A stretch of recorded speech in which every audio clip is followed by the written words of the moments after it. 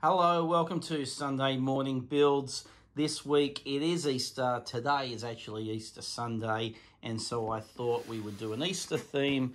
And I have here set number 40463 Easter Bunny. This set comes with 293 pieces. Uh, you can see the Valentine bear there, and it's also a similar setup to the Halloween owl, which I have just over here here is the Halloween owl. And so what I like about these sets is this base base plate that they use, and often there's a bit of a what we call Easter eggs, no pun intended, um, an Easter egg in the base plate of some nature. So it'll be interesting what they do in this base plate here, which is not featured in any of the imagery, so it is a surprise. It does look like that uh, the bunny ears will move, depicted by these arrows. Um, and I'm expecting it to maybe take about 20 minutes with just under 300 pieces. But we'll see. Uh, it will be a speed build, as always. Uh, then we'll come back and do the review. If you like this content, please like and subscribe. Um, that would be greatly appreciated. But um, otherwise, it's time to get into this and then I will see you on the other side of the speed build for the review.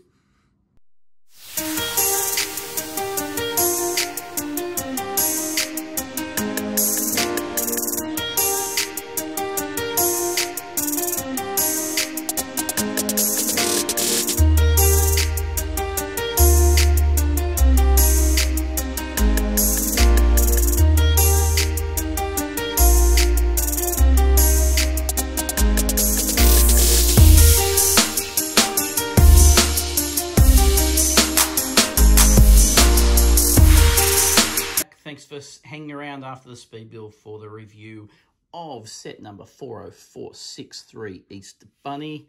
Here we have it. It's a pretty uh, good looking set with a few uh, little surprises I wasn't expecting.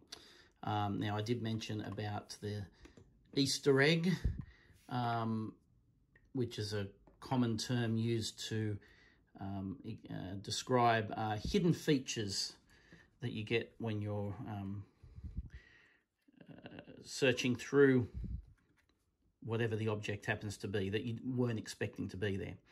And so with this item, the hidden Easter egg is actually, if I can take these off in without pulling too much apart, in the base, if you saw it and it didn't move on too quickly in the speed build, you would have noticed that it was a carrot.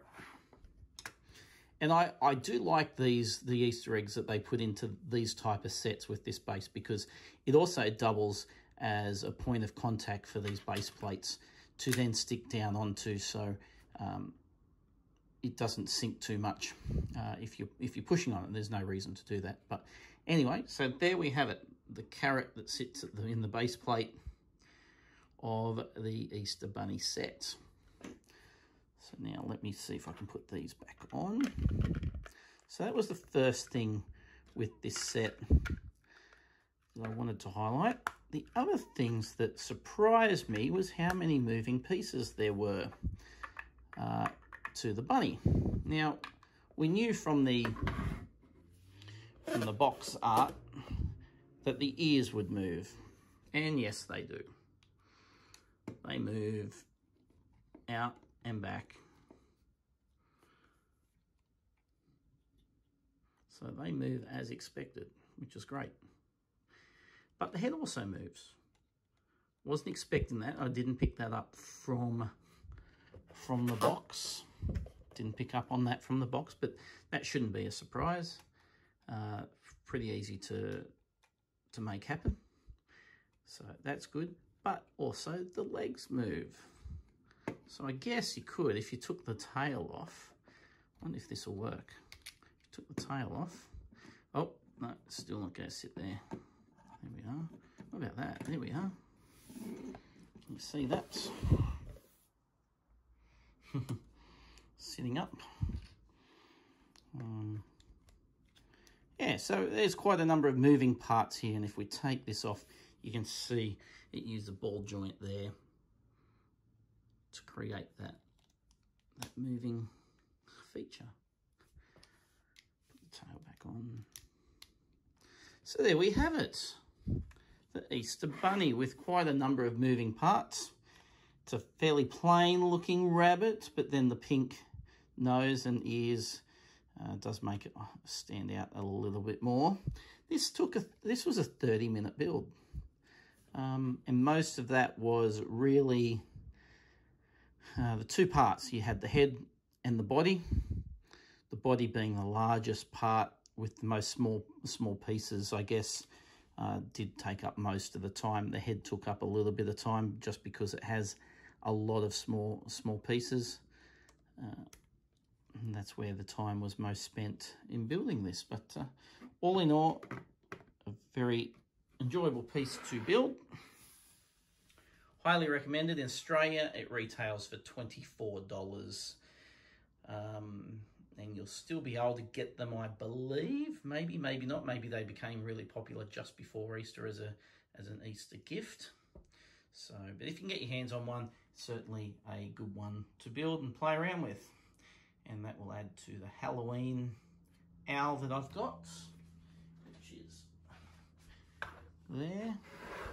And I also think I have the the um, Valentine bear. I think I've got that one. I'm just not sure if I've built it or not. So these sets with these larger bases, they're bit, they're very much like BrickHeadz, um, except they're animals. Although there is the range of um, BrickHeadz Pets. Uh, I think they're very similar builds to those with a little bit more character built around them because of the theme. But anyway, so there we are. Happy Easter, everyone. I hope you enjoyed that build. Please, if you like this content, like and subscribe. So next week, probably get back into some more brick sketches. We'll see. We'll just see what happens. Be a surprise to us all, including myself, what we end up doing.